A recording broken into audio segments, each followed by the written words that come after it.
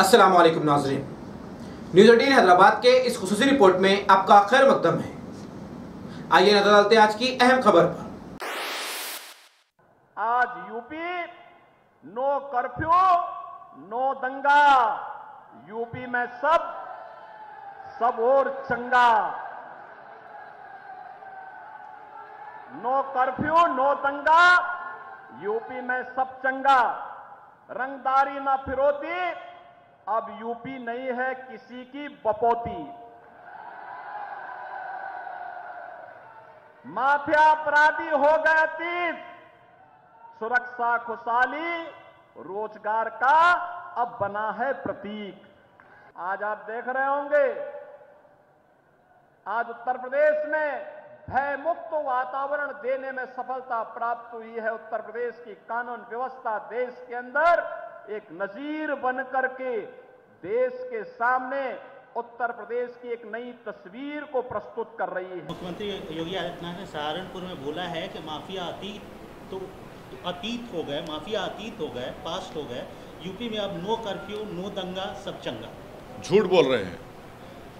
झूठ बोल रहे हैं दंगे आज भी यूपी में हो रहे हैं। अगर आप मुझे इजाज़त दीजिए आधे मिनट की तो मैं आपको बता देता हूँ कि यूपी में कितने दंगे हुए हैं और इसका जवाब उनको देना पड़ेगा। जो बार बार बोलते हैं ना कि यूपी में दंगे नहीं हुए, दंगे नहीं हुए, ये गवर्नमेंट ऑफ़ इंडिया के फिगर्स हैं जो हम आपके सामने आधे मिनट हाँ सुन लीजिए।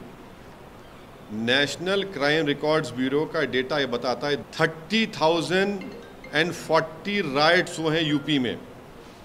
ये नेशनल क्राइम रिकॉर्ड्स ब्यूरो का डेटा कहता है। 2017 से 2021 में बीजेपी की सरकार है। मुख्यमंत्री योगी आदित्यनाथ है।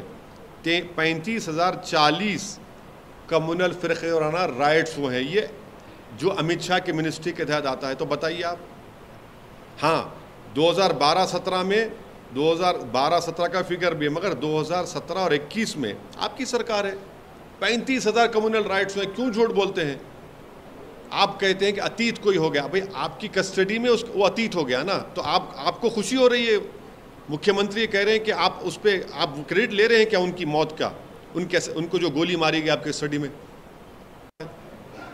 ये ये आपका सत्ता है, ये आपका गवर्नेंस है। इस तरह आप अतीत करना चाहते हैं किसी को? नाजिन न्यूज़ एटीन हैदराबाद चैनल को लाइक शेयर सब्सक्राइब ज़रूर करें।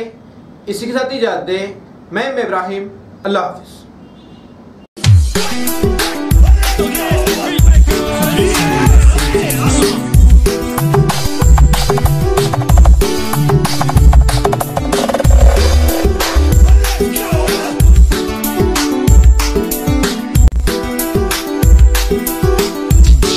Joseph.